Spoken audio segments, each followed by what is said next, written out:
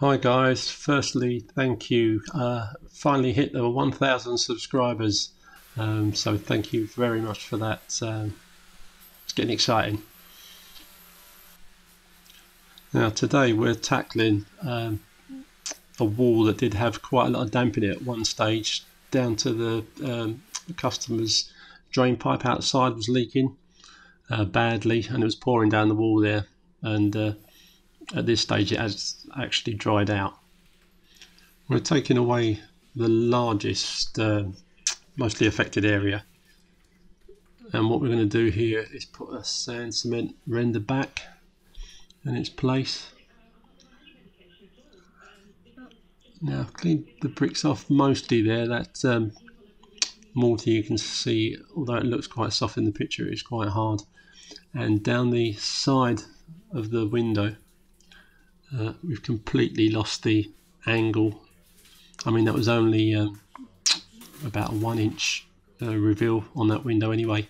Um, with these shutters that have already been fitted in, if they're taken out, obviously once you've done the work, uh, they're never going to go back. So, um, yeah, and plus the customer didn't want to take those out. So, uh, I'm going to have to build that um, corner up as you'll see a little bit later on so we can um, get a bead onto it. Uh, there's no way an angle bead, uh, a render angle bead would fit onto it uh, because it's just too small. So a bit later on I'm going to build this up first with the sand and cement, the corner, and then I'll use a thin coat bead to uh, get the thing finished off. Now mostly when you're um, doing sand cement work like this, you'd put a scratch coat on first and then you'd put a second coat on top of that. But uh, in here we've only got about mm, half an inch to play with. Um, so basically uh, I've sprayed the wall just with water a little bit of water. Uh, brickwork doesn't need to have a bonding agent on it specifically uh, unless there's some kind of issue with the bricks. And um, we're putting this coat straight on. And we're going to level it out flush with the existing wall because this this whole actual wall on this side is going to be skimmed over at the end. So this is going on, one in one coat because uh, yeah if you put a scratch coat on that and let it dry uh, never leave yourself enough room to put a, a decent top coat on it. Always remember to work the sand and cement in right up to the edge nice and tight so you're getting a good bond between the existing plaster that's up there and your new uh, your new render coat. This is a three to one mix. It's quite strong, but um, I like it like that. Taking an aluminium uh, feather edge over that just to see where we're at. But as we proceed with this, I'll be uh, reverting to the speed skim. Okay, the hollers that you've got, obviously, you fill those out. So we're doing here.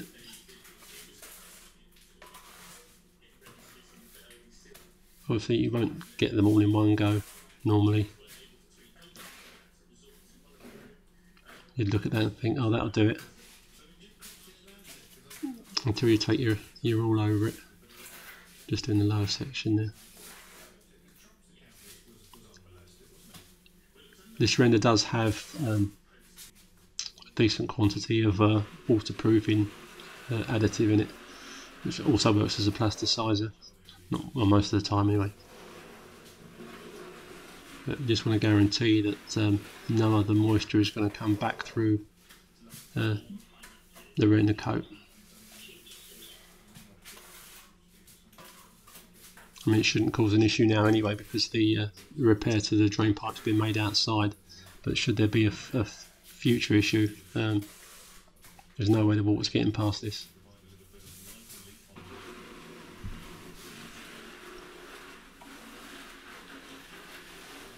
There we go, starting to take shape.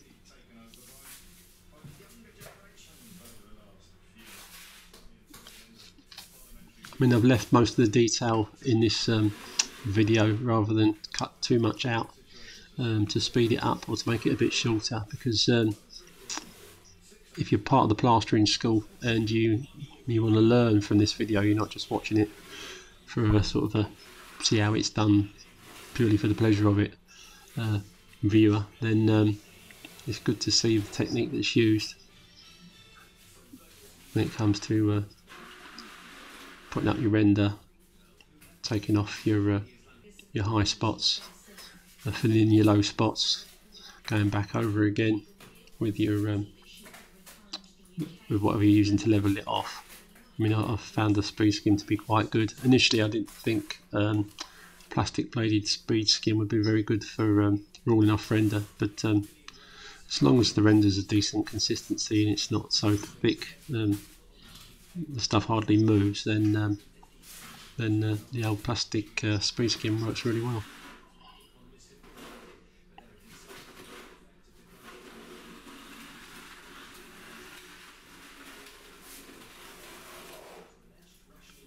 Again, as usual, always make sure you you're floating it off both ways.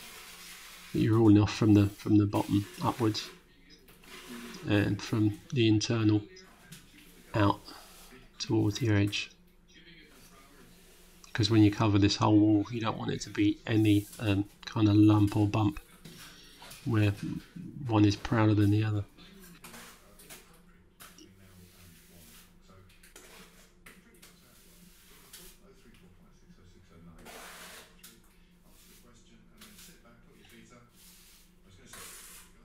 Few shots when we come to them of doing the corner managed to get some close-ups of that so you can see in a little bit more detail um, how I'm putting the thing on.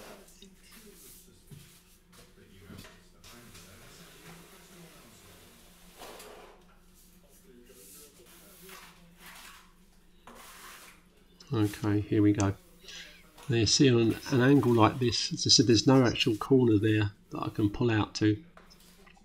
So what I'm tending to do here is getting the stuff onto my trowel and using the heel of the trowel.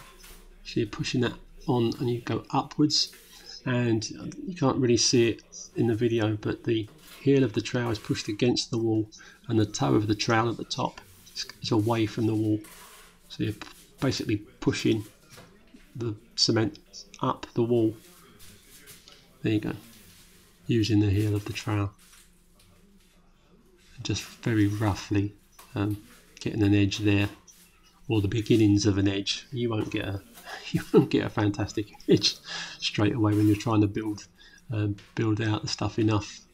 And uh, and yeah those louver windows can be a bit awkward to say the least. Here we go. So that's just a reverse of what I was doing at the lower the lower end and, and using the toe of the trowel, putting the stuff on and coming down. And, or and up on that particular case there.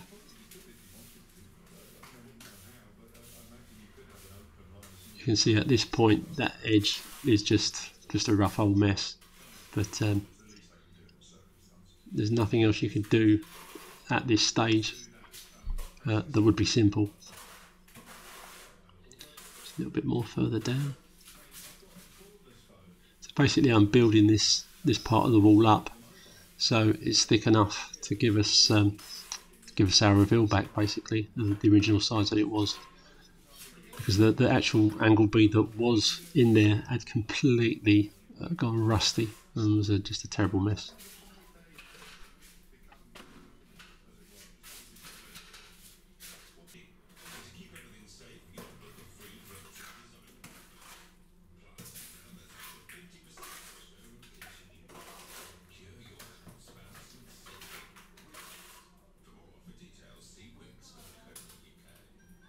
I haven't put any music on this one, guys, because sometimes um, I found when I'm watching videos, if they're instructional in any way, after a while the music starts to grate on you a bit when you're trying to listen.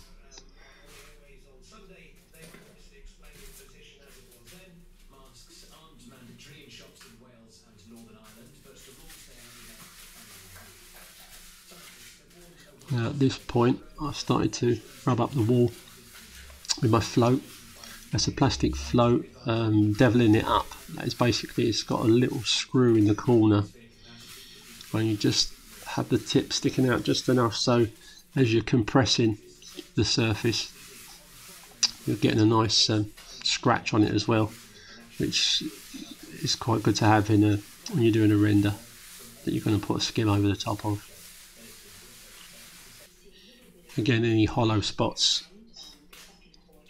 that you get, small ones, this is when they'll become visible and you can just fill those in as you rub the thing up.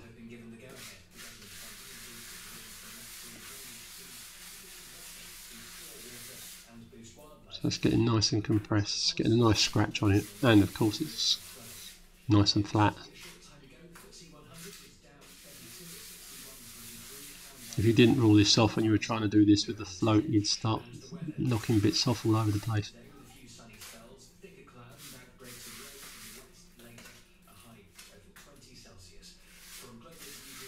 Just work your way over the area.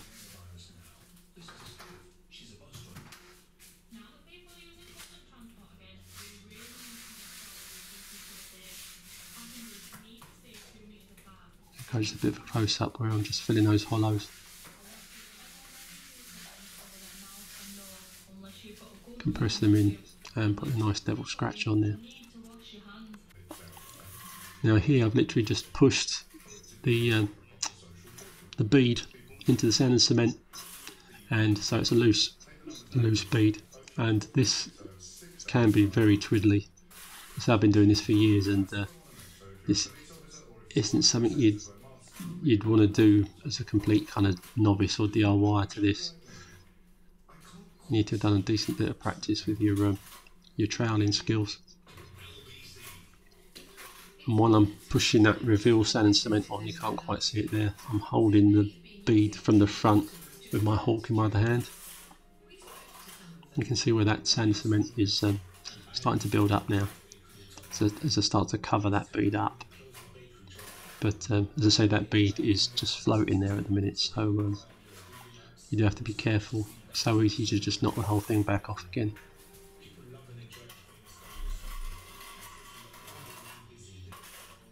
at least we've got our reveal back and just got to level out that uh, render across the front. As on any job you do guys, just remember to uh, be really careful not to cause any damage to decor or uh, in this case these um, these blinds, wooden blinds.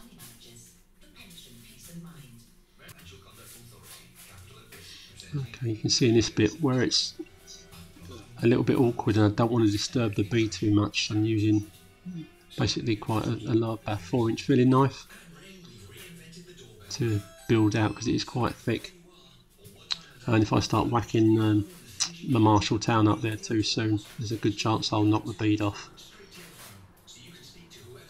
As I say, if it was a bigger reveal, um, you could do this slightly differently, but because it is so tight, and I've had to literally build the thing back up out of sand cement, it's um, very delicate.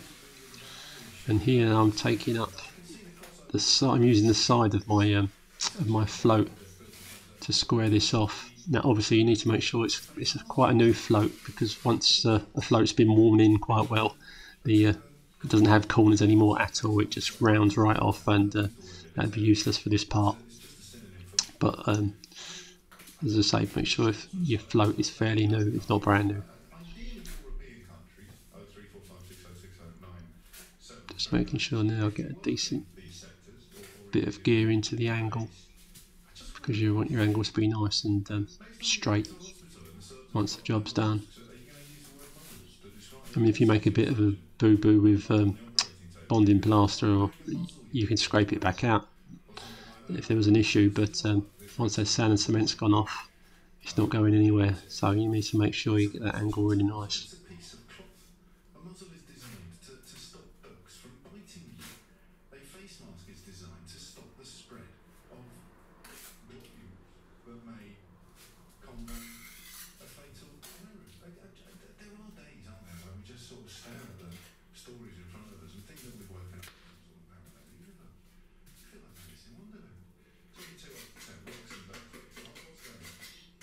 At some point, I can't remember it's the footage is here on this one, you would um, again take as the stuff starts to go off a little bit more.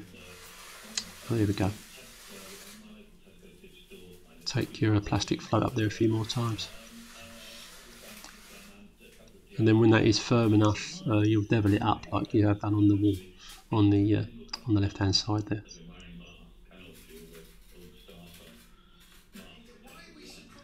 Now here at the top, I'm basically blending this back in so it meets the original bead that is still on the top. Because if you start sticking more beads around this, because you can probably see that uh, they want to put exactly the same poles back for their curtains, and these are quite hefty things that are here. And uh, I didn't want to mess about with trying to cut beads around uh, around those, so what you'll see briefly a little bit later on is where the top bead is in good nick. I've scraped, not just yet, but I will do in a minute, scrape back the uh, finish from the front surface of that, uh, that head bead on the top of the window because when it comes to the setting um, I want the, the beads to all be levelled up with each other on the corners don't want one jutting out more than the other where they meet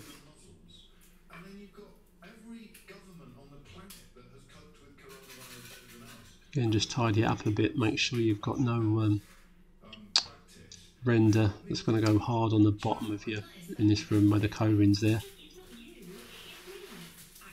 Oh, touch with a sponge there. That's it, I think that bit got a little bit too dry. No, I just wanted it to just to be nice.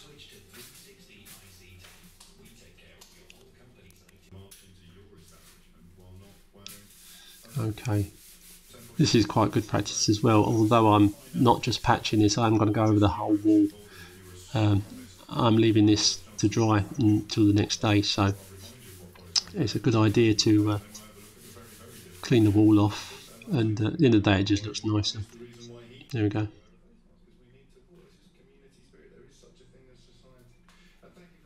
It's all about keeping your customer happy.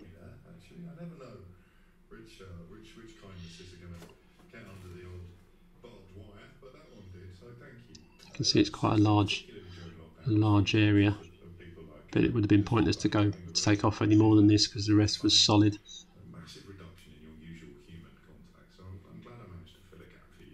Now again, you can see that devilled up pattern. That's just from the uh, the devil float, which is the float with the screw in it. If your screw sticking in it too, sticking out too much, obviously you just loosen it off a bit, so it sets itself back inside the uh, the float. Especially if you want to do any rubbing up without scratching the surface. You see where I've got that bead to meet up with the original bead that's at the top there. And I'm going to be putting a, an angle bead on the right hand side of the window as well to blend in at the top.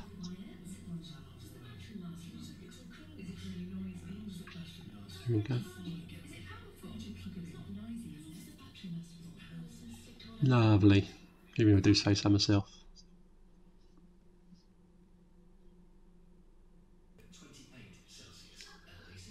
Okay, we're back for another day.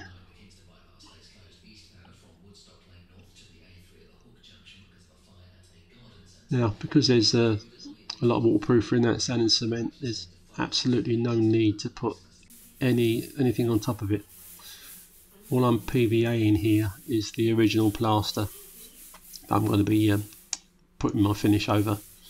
So just literally going up to the edges. That's it as far as PVA goes. Don't don't put the PVA onto the sand and cement.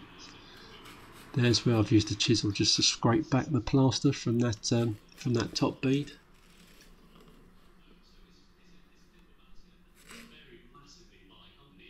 And that just allows enough room for the finish to uh, go up against that.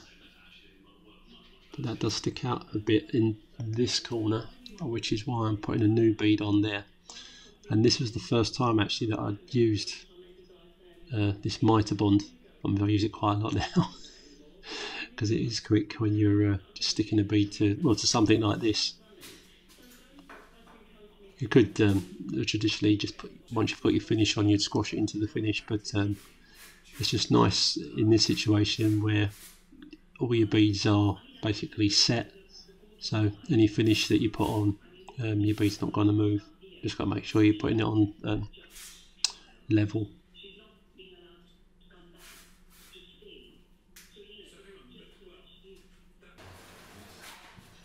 Okay, first coat of finish going on.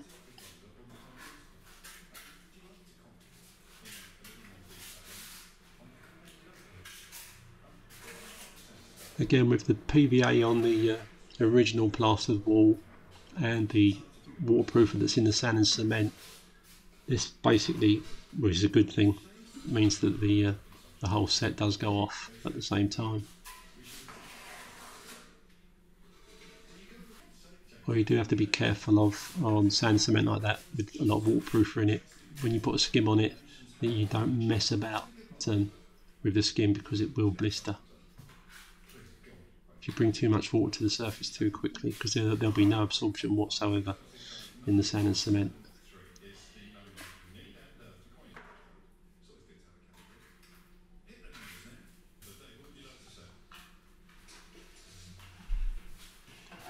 Old trusty speed skim plastic blade out again to rule off that finish. As I say, I've literally just put that finish on and um, leveling it off straight away. Remember, don't ever do this with the um, with the metal blade because you'll draw the water to the surface and uh, uh it will cause blistering and all sorts of issues and it'll look terrible. but the plastic one, as uh, we've discussed on Ask the Plasterer, it does um, open up the surface of the finish, which helps it to uh, pull in just that little bit quicker than it might otherwise. Again, here as you see, when you're, you button up two um, wet pieces of wool, you basically get your first one on. That's the second coat going on here and when you're doing the return you just basically at this point get it as neat as you can and then there we go with the corner twitcher that pushes your plaster really nicely into the angle.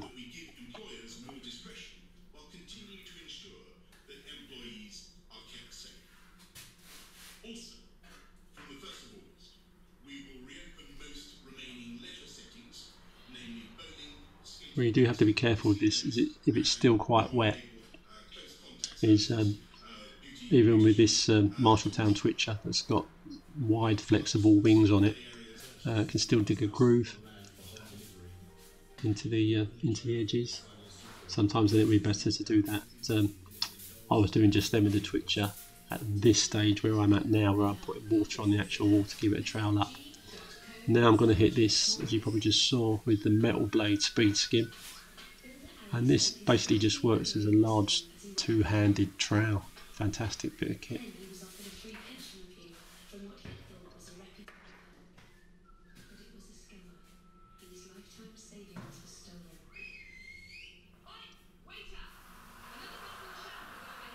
Just remember, as, as you would with a trowel, do this in all directions. it does give you a lovely, a lovely finish. As I say, it's a finish you probably could um, leave without using uh, a flexi trowel on top afterwards, or your Marshall Marshalltown, and uh, it looked looked fine with a coat of paint. But um, I've never tried it yet because I still like to go over this after this stage with my uh, flexi trowel. It does give it that, that lovely. Um, silky smooth finish at the end.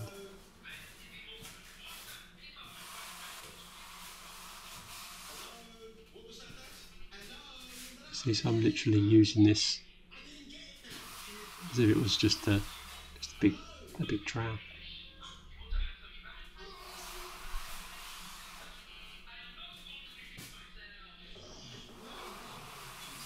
Yeah, if you're going to do a, a large patch like that, even if you're just putting bonding back in it, to do it and just fill the patch in. Um, I think while you're there anyway, you've got to wait for the set to go off. You might as well skim the whole wall right across uh, rather than do patches. Patches look terrible. Uh, doing this and covering the whole wall obviously looks a million times better. It doesn't take any longer and uh, customer feels like they've definitely got their money's worth.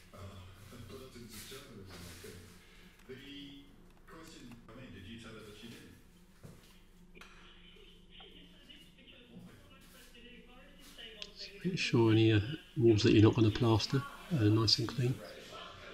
now I think finally here just giving it a spray and taking the um, my flexi trowel over the top. That one I'm trowel I'm using there is my ox, we can see that. Most of their gear is easily um, identifiable by the blue handles.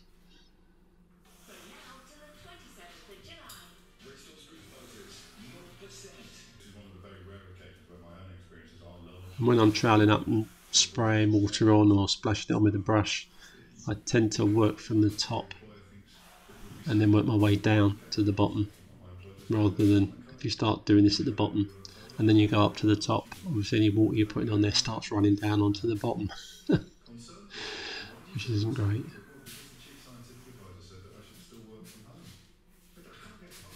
There you go, just get into your corner there, make sure you've got a nice neat uh, angle.